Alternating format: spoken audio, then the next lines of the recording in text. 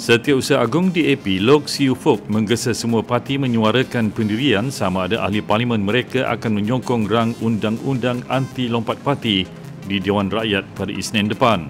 Ahli parlimen Seremban itu berkata, akta yang ditunggu-tunggu itu perlu disokong sekurang-kurangnya 148 ahli parlimen untuk diluluskan kerana ia membabitkan pindaan perlembagaan yang memerlukan majoriti 2 per 3.